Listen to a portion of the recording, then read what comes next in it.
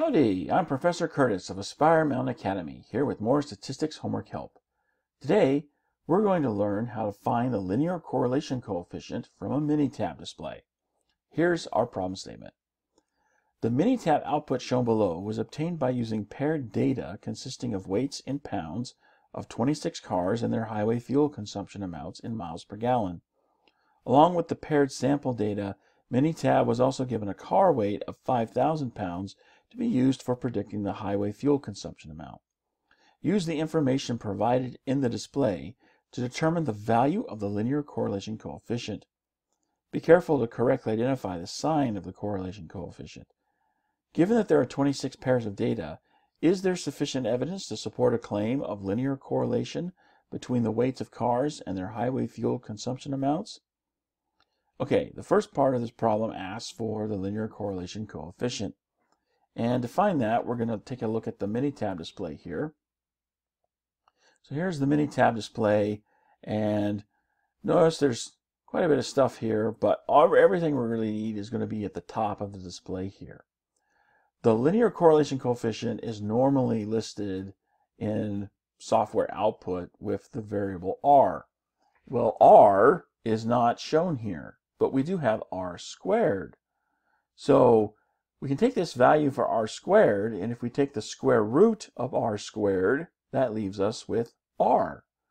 So all I have to do is take the square root of this value here. So 0.636. Notice I'm converting from the percent to a decimal. Take the square root, and there's my r value. But we know that values for the linear correlation coefficient can be positive or negative. So which is it here? If I take a positive number and square it, I get a positive number. If I take a negative number and square it, I also get a positive number. So how do we know whether this is positive or negative? Well, look at the model that they're giving us, the regression equation. If you look at the value for the coefficient in front of your uh, independent variable here, notice it's negative. That means this line, when you graph it, is going to have a negative slope. And a line with a negative slope has a negative linear correlation coefficient. So the value for r we're looking for is going to be negative. So now I know what I need. Put in my negative sign and then put in the number we calculated rounded to three decimal places.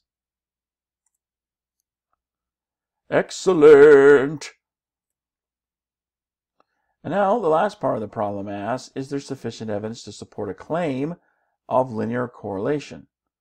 Well, let's go back to our Minitab display. And we're going to look at this table here with our predictor uh, uh, values and the actual testing that was run on each of them. Notice here we want the one for the model itself, which is going to be the independent variable. There's a p-value here in the end, so this value here is the one we want to look at. And that's a number, it's either zero or a number that's so low it's practically zero. And so therefore we're just going to say zero. And when you have a p-value of zero, any reasonable significance level you would test against, you're going to be inside the region of rejection.